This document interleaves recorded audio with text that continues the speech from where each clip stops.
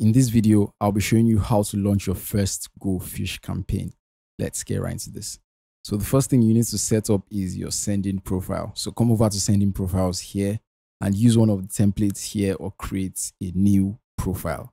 I'm going to use the Google Mail template here and I'm just going to put in my Gmail here, the SMTP host here, the username and my password.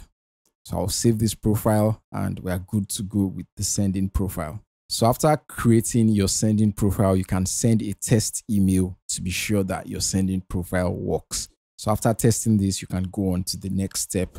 So the next step is to create an email template. So go to email templates and you can create a new email template or choose one of the templates here. So let's use this child care service based template. Let's take a look at this.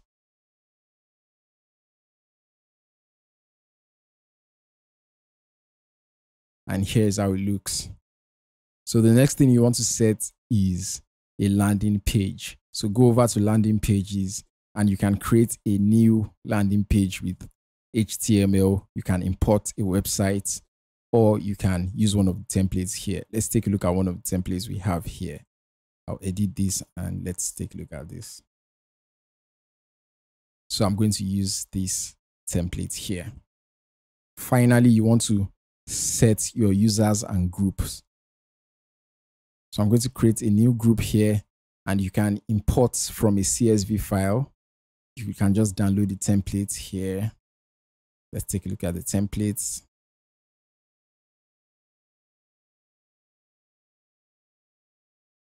You can put in the first names here, the last names, emails, and position here and import that, or you can add in an email manually.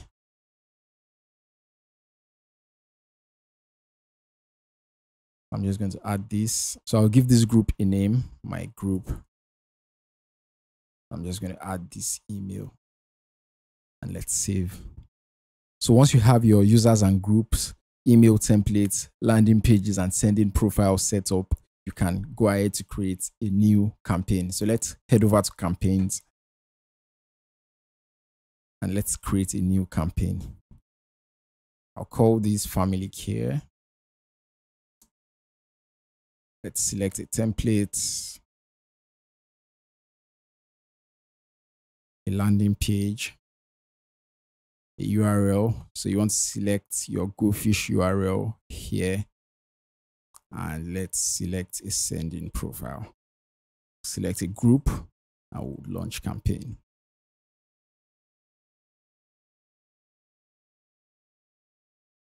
So if you check this, you can see the timeline for the campaign let's take a look at one of the emails it was sent to.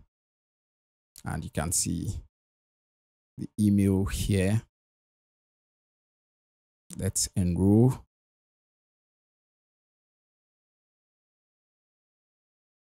Let's enter my name, enter a password, login, be redirected to the original page and now let's refresh GoFish. And we have our captured credentials here. So that's how to create a phishing campaign in GoFish. I hope you enjoyed the video and I hope you learned something from this. If you did, don't forget to like and subscribe. If you have any questions, leave them in the comments below and I'll see you in the next video.